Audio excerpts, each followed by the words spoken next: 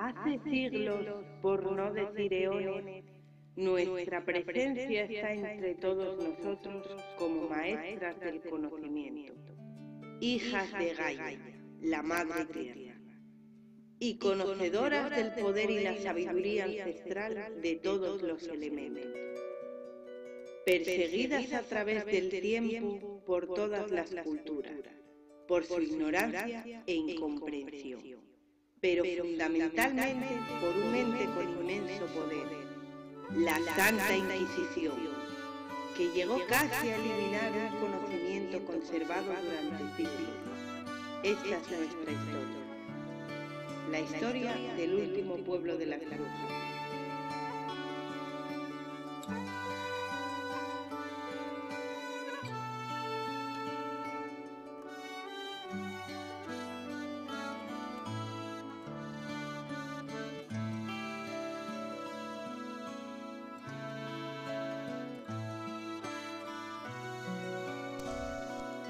Nos encontrábamos en plenas montañas navarras y buscábamos uno de los pueblos más mágicos de nuestra península.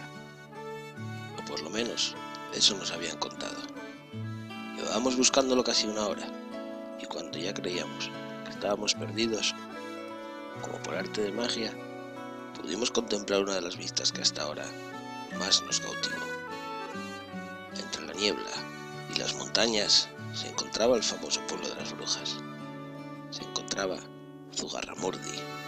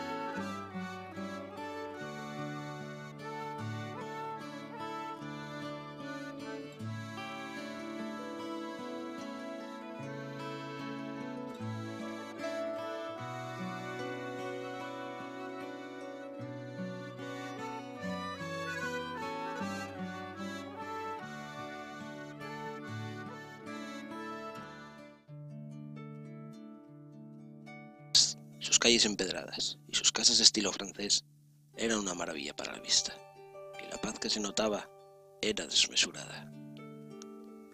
Comenzamos buscando al alcalde de este hermoso paraje para tratar el tema de los permisos, y la verdad que nos sorprendió bastante su respuesta. Nos dieron plena libertad para grabar por las cuevas y el museo, de los cuales os hablaremos más adelante. Y además, nos proporcionaba los nombres de varias de las personas más sabias de Zugarramurdi en relación a la historia de las brujas. Una de ellas es nuestra ya gran amiga Marifa, la cual nos acompañó durante todo el fin de semana de investigación, transmitiéndonos ese conocimiento ancestral sobre ungüentos, pócimas y brebajes que sus antepasados le habían transmitido a ella, una sustancia que sueltan las glándulas anales de los sapos es buena contra las picaduras de serpiente. La otra es otra gran amiga de este grupo y la persona que todo el mundo busca para entrevistar, Koro Irazoki, autora de Las Brujas de Zugarramurdi, libro el cual nos cedió para nuestra biblioteca personal y la que nos contaba la verdadera historia de Zugarramurdi.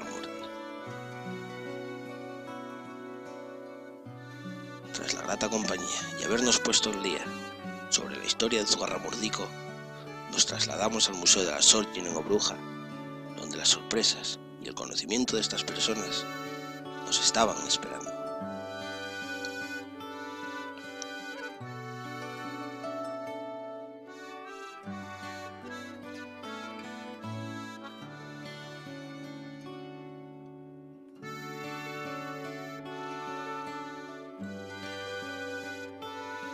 Museo consta de tres plantas. En la primera se puede ver todo el tema de la Inquisición, lo que la iglesia quiso que entendiéramos como bruja y las columnas donde están escritos los nombres de las últimas brujas y brujos quemados en el proceso de Logroño y qué orden jerárquico tenían cada uno.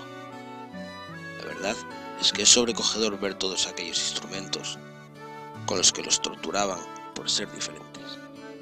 Y como nos decía nuestra amiga Coro, por ser sabias y temidas.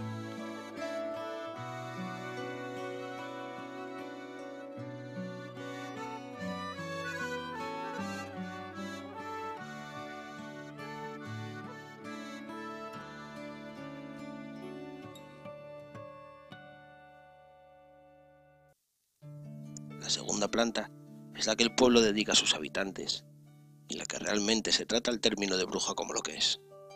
Una mujer sabia y preparadora de pócimas y ungüentos y de toda su historia llena de represión y persecuciones.